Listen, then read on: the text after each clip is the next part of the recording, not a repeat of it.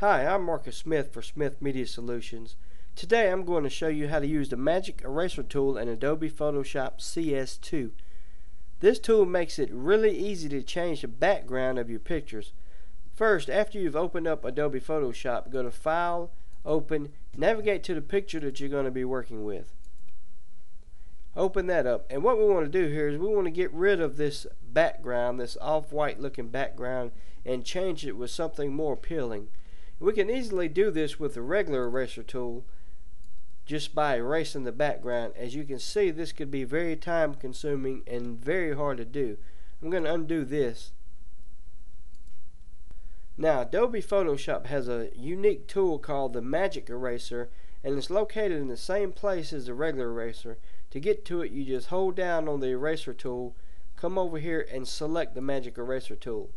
Now, What's unique about this eraser is that with a single click, it will erase all the pixels that are the same color or near the same color as anywhere I click. So to get rid of this off-white background, I'm just going to click anywhere over here.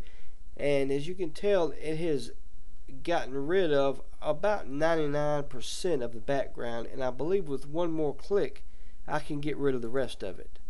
Okay, I'm going to go ahead and get my move tool over here and I'm going to add a new layer for my new background.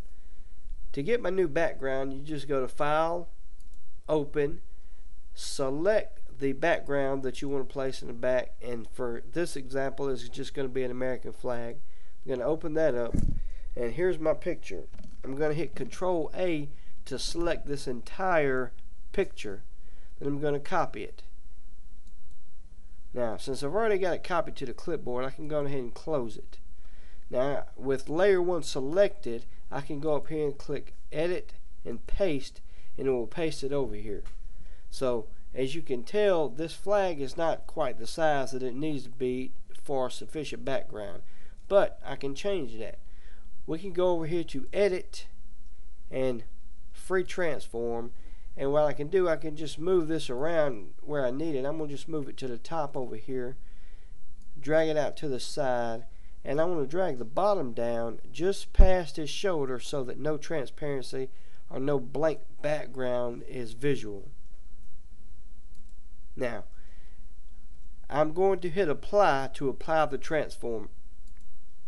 Okay, with that done, notice that layer, this layer is on top of this layer. So all we do is we come over here, we drag this down up under this layer.